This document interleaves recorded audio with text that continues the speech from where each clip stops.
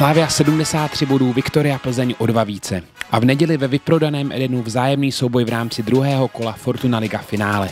Zápas dvou nejlepších klubů letošní sezony o možném budoucím mistru hodně napoví. Je to vlastně zápas o 6 bodů a v té pozici, teďka, ve které jsme, tak e, e, to může samozřejmě hodně napovědět i z našeho, z našeho pohledu, ale Hraje se čtyři zápasy o 12 bodů, ale tenhle, ten, tenhle to utkání, jak jste říkali, o 6 bodů je to základ e, potom směrem ke konci ligy. Určitě na, hodně napoví. My samozřejmě tím předešlým zápasem jsme, jsme si tu pozici zkazili, tak teď máme možnost porazit Plzeň a zase to vzít do vlastních rukou, takže pro nás to je, to je hodně důležitý zápas. Po nevydařeném vstupu do nadstavby měli slávisté týden na přípravu.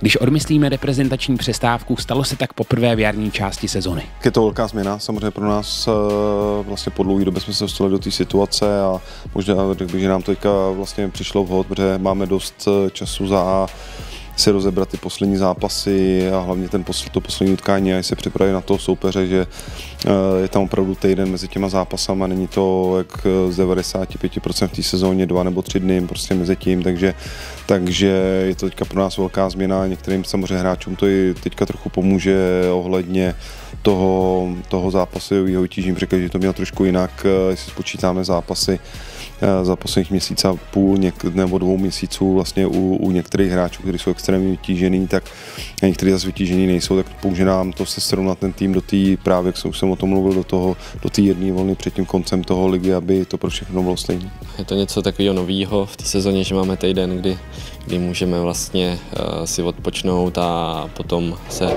pořádně připravit na ten zápas. Měli jsme tam dva dny volna, teďka už náročné tréninky, na konci potom týdne uh, ladění k tomu zápasu, takže myslím si, že, že nám to prospěje ten týden. Měsíc stará konfrontace ve Štoruncových sadech skončila remízou 1-1.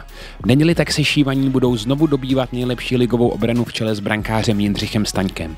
Co do počtu čistých kont nejúspěšnějším brankářem soutěže. Já si myslím, že každý z těch týmů bude sázet na ty svoje silné stránky hlavně a, a bude hrát to, co mu je vlastní a e, je to v podstatě playoff, není, není moc prostoru pro to zkoušet nějaké nové věci, nebo prostě každý se opře to konec sezóny, opře se o to nejlepší, co má, o ty, o ty nejlepší hráče, o to, co mu fungovalo v té sezóně a, a samozřejmě my víme, jaké jsou naše silné stránky, Plzeň taky ví, jaké jsou její silné stránky a, a o to se budou chtít opřít a hlavně minimalizovat ty chyby v, tom, eh, v těch zápasech a to bude pro ty týmy stejný. Plzeň tímhle styl hraje, samozřejmě proti nám to bude eh, ještě víc víc do té obrany, protože si myslím, že jim trošku hraje do kraty to, že když tady neprohrajou, takže si myslím, přijdou sem bránit a bude to zápas hlavně o nás. Sešívaní půjdou do zápasu posilnění zkušenosti z velkých zápasů i vzájemnou bilancí z Plzní. Poslední porážka od Viktorie je více než tři roky stará. Ty zkušenosti bychom tady v tom zápase určitě měli prodat, protože tyhle zápasy už jsou hodně, hodně o té psychice, o hlavě a, a samozřejmě v Evropě je to hodně náročný taky na, na tu psychiku, takže doufám, že, že ty zkušenosti zúročíme, že nám to pomůže.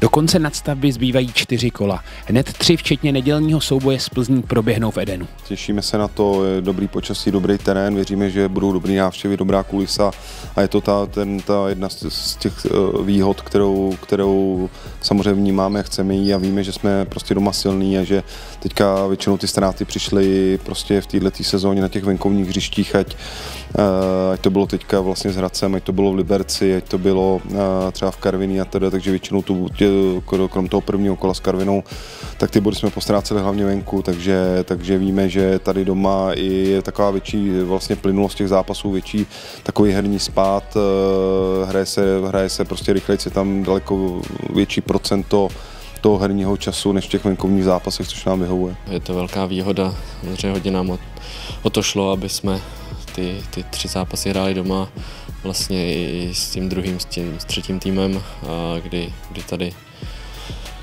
bude asi vyprodáno, asi určitě a samozřejmě se na to těšíme a, a věříme, že nám naši fanoušci pomůžou. Prostě k tomu titulu zase dojít. Utkání proti Hradci vynechali ze zdravotních důvodů Stanislav Tecl a Petr Ševčík. Otazník vysí nad startem Petra Olenky. Je to tak střídavě, střídavě oblačno, protože pořád nám některý hráči třeba vypadávají na jeden, na dva, na tři dny kvůli rýmám nebo kvůli vyrozám. Teď třeba Petr vlastně Olenka netrénoval vlastně eh, dva dny právě úleh po tom zápase vlastně s Hradcem eh, s teplotou. A co se týče eh, standy, tak má individuální program a je tam šance, že stihne ten nedělní zápas.